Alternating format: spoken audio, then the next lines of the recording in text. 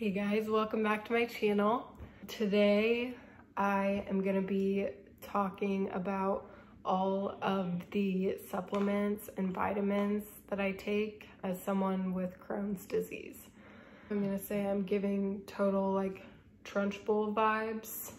So happy Saturday. First off, I initially met with my dietitian because I was deficient in several areas, like one of the main ones being vitamin D. So she recommended taking a prenatal vitamin. So I take this. There's like a bunch of other ones out there, but I like this one. I feel like it covers a lot of the vitamins and other supplements. Like some prenatal vitamins out there don't have like a variety of supplements in them.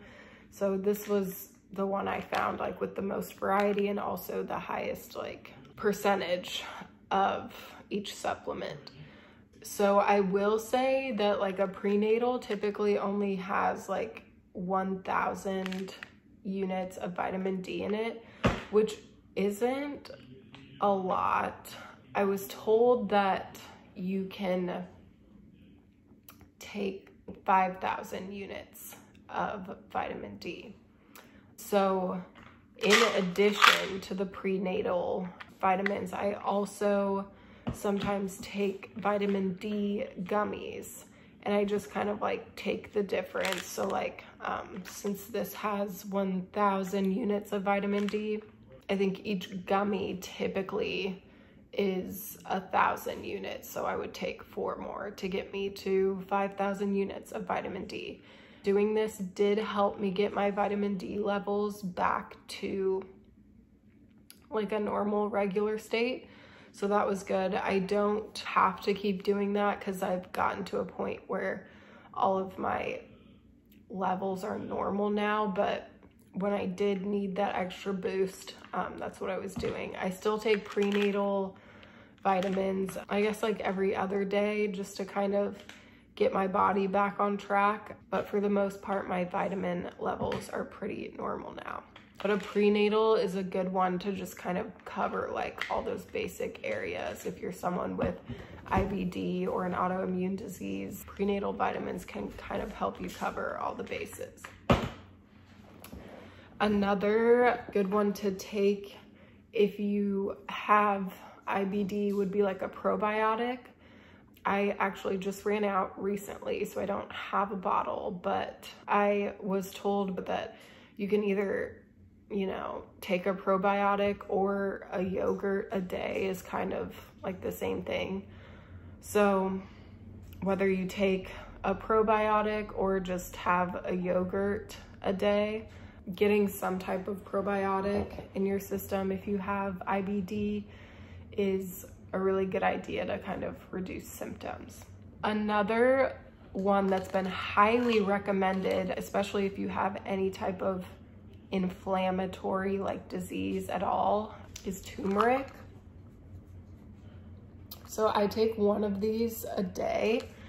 From what I've read, you can take anywhere from like 500 milligrams a day to 2000 milligrams a day. These are 1000, so I just take one of these and that usually helps me feel pretty good, but it's a really good way to reduce inflammation overall, especially like in the long run. So turmeric. Another one that I've had to take recently as someone with an autoimmune disease is biotin gummies because to be real, I have kind of lost a decent amount of hair. My hair has thinned quite a bit um, throughout this whole process. So it's getting better. Like I can actually tell these are really helping. So I get the Vegamour Grow biotin gummies. So I can actually significantly tell a difference even from using this like just for like a few days. Like my ponytail feels thicker. I don't know. So I definitely recommend this if you are someone with an autoimmune disease and you've struggled with any type of hair loss. And not only that, but they're like this really freaking cute little heart shape. Like, yeah, I want to take this every day. Like, I mean, come on, that's just good vibes. So, it's another one that I like to take.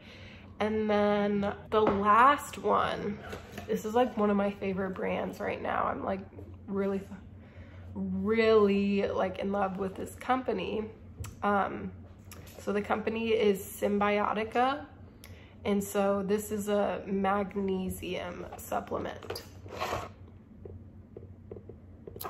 So as someone recovering from IBD, I struggle with brain fog like quite a bit and, and honestly some memory issues and just things of that sort. I know like the gut has a significant impact on the brain and so magnesium is a really good supplement to just kind of like keep yourself feeling sharp and on top of it and focused. I can really also tell like a difference with these. I usually take um, them at night before I go to bed. It's just a little, um, me show you. So it's actually a liquid. This one is vanilla cream flavored.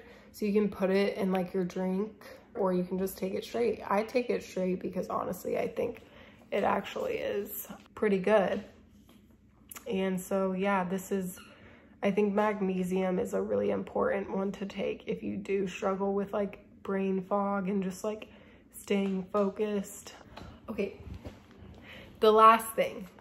I've been drinking this at night. So it's cacao, it's organic cacao.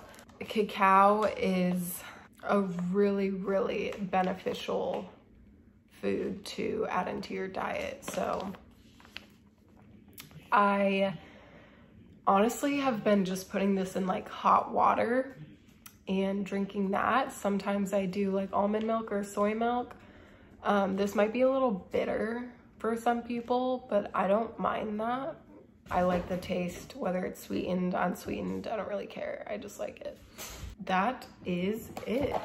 Those are the supplemental herbs, vitamins, superfoods that I kind of work into my diet. I really do feel like a lot of these make a difference and they help me feel really good and healthy. Thank you for coming to my Trunchbull talk. Please comment down below if you have any other like vitamins or superfoods or herbs that you find are helpful to either like IBD or your autoimmune disease, whatever it is, I wanna like share our tips and tricks with the community. Don't forget to like this video and subscribe to my channel if you want to see more of this content and if you want to join the healing community. Thank you for watching and I look forward to seeing you next week. Bye.